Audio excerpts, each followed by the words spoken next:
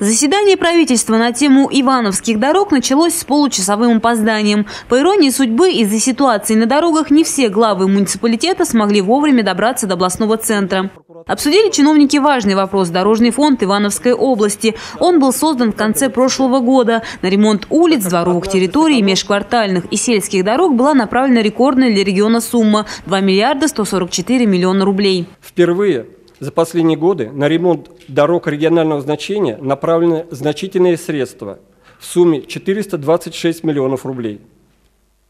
Это позволило восстановить 115 километров региональных дорог, в том числе выполнить ремонт 62 километров в 16 районах области, что сопоставимо с объемом ремонта за предыдущие пять лет – Особое внимание в этом году уделялось качеству выполненных работ. В результате многочисленных проверок были начислены штрафы по восьми объектам на сумму 2 миллиона рублей.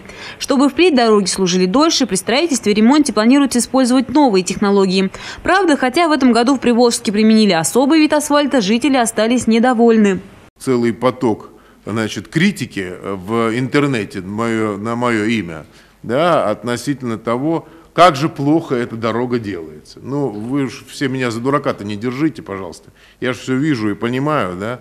Значит, э, похоже, что, значит, хорошая технология, раз кто-то организовал, значит, такую вот массовую атаку в интернете, значит, с критикой этой дороги. Впервые за многие годы денежные средства поступили на ремонт местной сети дорог муниципальных образований. Однако не все чиновники стали заниматься подготовкой проектно-сметной документации и проведением торгов, а ждали поступления реальных денег. В итоге в некоторых муниципалитетах средства остались неосвоенными, а дороги разбитыми. Люди сидели и ждали, когда деньги упадут на счет, когда будет все полностью готово.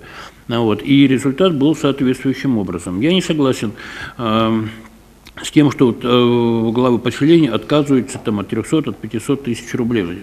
Этот, самое, эти деньги соизмеримы с их годовым бюджетом. Им никогда этих не давали, не давали этих денег. И только дурак может отказываться от них. А вот как с ними обойтись, действительно, э, очень многие главы, в том числе поселений, совершенно не справились. В будущем году все недочеты чиновники планируют устранить. Главам муниципалитетов рекомендовано грамотнее планировать работу. Объем финансирования Дорожного фонда региона на 2013 год уже определен и составит 2 миллиарда 369 миллионов рублей.